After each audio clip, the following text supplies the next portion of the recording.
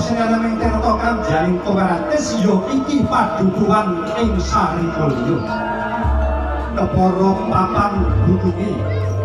ing lengkeng redi sebradut ya redi penjalin Yen kita reyokat sasmita ya padukuhan kang gemah ripah loh jinawi